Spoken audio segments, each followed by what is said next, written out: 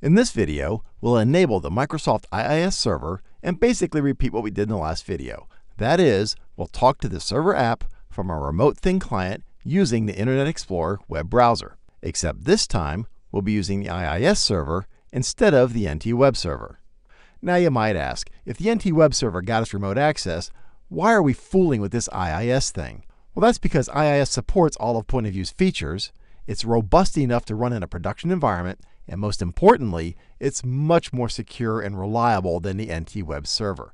The NT Web Server is not secure, and it'll open up your application to all kinds of potential threats. And since IIS is the server that Point of View is tested with, and it's the server that Automation Direct support staff is most familiar with, then you really want to get your project working with the IIS server. So now you're probably asking if we're supposed to use IIS, why did we spend all that time with the NT web server? Well, because it's quicker and easier to get you up and running fast. We just dropped it in the project folder and ran it so we could quickly verify the project and the hardware, right? The IIS server is going to require a lot more setup and configuration, and to further complicate things, that setup is different depending on which OS you have. But it's worth it to get all the features, support, and security. So let's do it. There's really three steps. Install the server on the PC. You'll probably find that it came with your Windows installation, but it's just turned off by default. So in step two, we're going to enable the features that Point of View needs.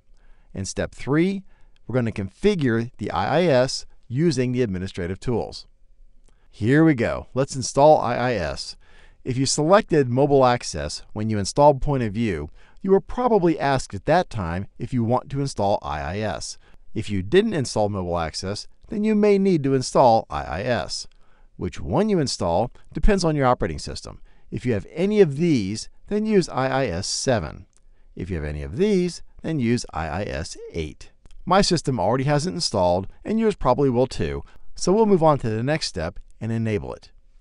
If you still have things running from the last video, bring up the NT Server window and close it to terminate that process and free up the TCP IP port for the IIS server. We'll be using Windows 7 in this video, but I'll provide Windows 8 hints as we go along. So here in Windows 7, we'll click on Start and bring up the control panel. In Windows 8, you'll have to swipe in from the right, do a search, enter Control Panel, and click on that. Click on Programs and Features, and then click on Turn Windows Features on or off. Expand the Internet Information Services, that's the IIS thing we're looking for, and expand the Web Management Tools. Make sure the console is enabled. Now expand the World Wide Web and then Application Development features. Make sure all of these features are enabled. The Windows 8 list is slightly different, so on that OS, make sure these features are enabled. Expand the common HTTP features and make sure the static content is selected. Click OK. This can take several minutes, so be patient. Mine's already installed, so we won't get that here. You might be prompted to restart Windows. If so, then go ahead and do it. Great. IIS is now installed and enabled. Check that off the list. Now let's configure it. From your control panel, click on Administrative Tools. On my system, it's here. On yours, it could be under System and Security, again, depending on which OS you're using. In the Administrative Tools window, double-click on this IIS Manager and expand the tree down to the default website branch. Under Actions, select Basic Settings, click on the Physical Path Browse button, and navigate to your project's web subfolder. The project we're using for this demo is at C colon, point of view, demo project 2, web. We're telling the server to give external clients access to the files in this folder. If you plan to use the secure viewer to access this app, then you have to stop at the project folder. Don't navigate down into the web folder like we did here because Secure Viewer won't be able to find what it needs. Now, what if you're using both Secure Viewer and an Internet Explorer web thin client? What do you do? Well, you have to stop at the project folder for Secure Viewer. So for the WebThin client, when you type the URL into the browser, you just have to add the web subfolder to the URL like this. We're not using the Secure Viewer in this example, so we are adding the web subfolder to the path, so we don't have to type it in the browser. This is subtle, so make sure you understand which folder you're sending your different clients to. By the way, the mobile access client, he doesn't care about any of this. He's a completely different animal that has his own way of accessing the app. Okay, let's get back on track. Now select Test Settings. This verifies that everything's okay. Unfortunately, everything is not okay here, is it? If you run into issues here like we did, it's usually because you have to set up your path credentials. That is, you have to give it your username and password so the application can run on this computer. Now try to test the settings. Perfect. Two green check marks, exactly what we want. Close that dialog, and then OK. Click on Bindings and verify that the port is set to 80. That's the default. You can change it to whatever you, or more importantly, your IT guys want, but when you point your browser to the app, you'll need to add the port number like this. If you can, leave it at port 80. It just makes everything easier. But again, your IT guys may not be happy with that, so this is how you accommodate them. Double-click the MIME types to open that dialog. Click Add to add new file extensions to the list so internet programs like web browsers can transfer files all the same way. We need to make sure all of these are in this list. Just scroll down this list and locate the ones that don't exist.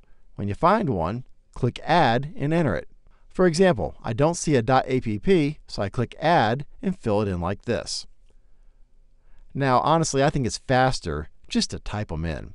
If one already exists, then it'll tell me. For example, let's do the next one, .bin.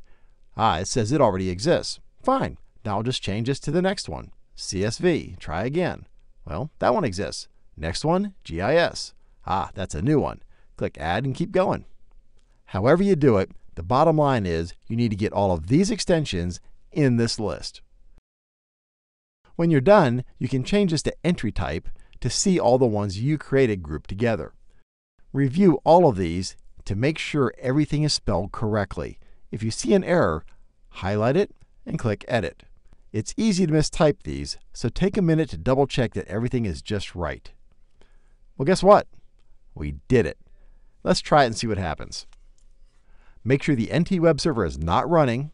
We killed it earlier, so it shouldn't be. Click on the IIS Start button to kick off IIS and run your project. Let's bring up the app on a local browser first, like we did in the previous video. And sure enough, we have control over our server app. Great. Let's kill this guy to free up the port. Bring up a browser on the remote PC, type in the same link, and now we're controlling the app from a remote PC. Perfect. Now don't forget, if you changed that port a few steps ago, you would have to type that here. Because I'm using port 80, I didn't have to type it. Well, hopefully now you can see why we did the first four videos using the NT Web Server.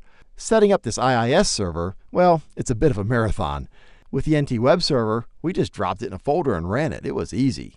Please remember that you really don't want to use the NT Web Server in your final application. It isn't as secure as IIS, and it's not the server that Point of View's tested with. Also keep in mind that we've only shown a very basic IIS setup in this video. For more advanced setups of IIS, including SSL encryption, consult Microsoft's documentation.